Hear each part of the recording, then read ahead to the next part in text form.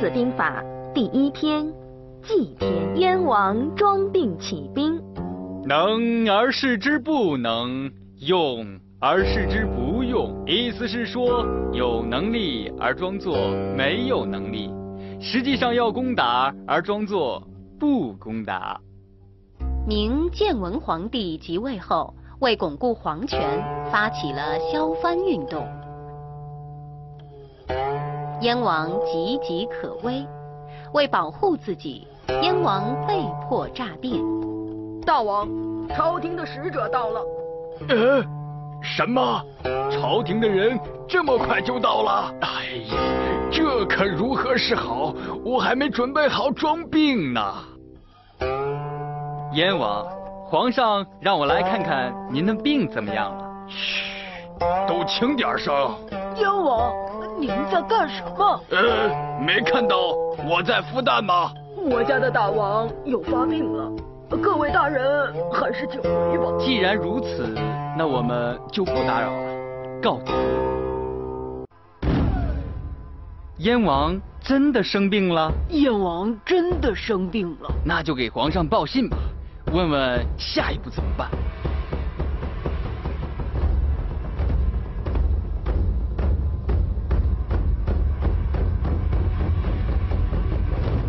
皇上来信了，让我们偷偷的把燕王抓起来。既然如此，那我们明日便动手，以朝见燕王之名抓住他。燕王曾经救过我，我不能忘恩负义。一定要尽快通知燕王。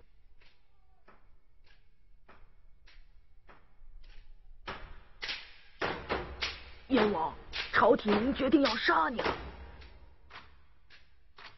如果再不走，就只能任人宰割了。多谢你提醒，事到如今，只有。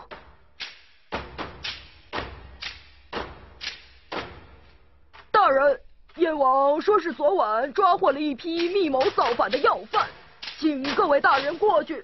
燕王的疯病好了？听说燕王的疯病突然痊愈了。告诉燕王，我们随后就到。啊哈哈！欢迎三位京城来的大人来指导工作。燕王。听说昨晚抓了一批密谋造反的人，关在哪里了？不急不急，各位大人先尝尝我们的西瓜也好。燕王这么热情，我们就尝尝吧。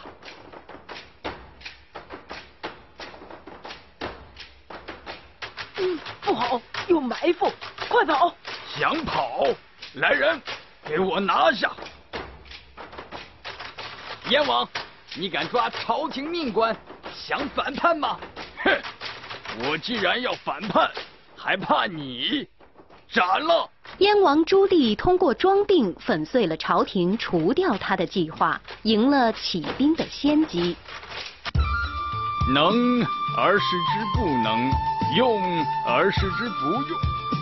燕王朱棣显然深谙此道，他一面积极备战。一面装病扮痴迷惑敌方，伪装成不准备打仗的样子，从而为自己赢得了时机，取得了这场宫廷政变的胜利。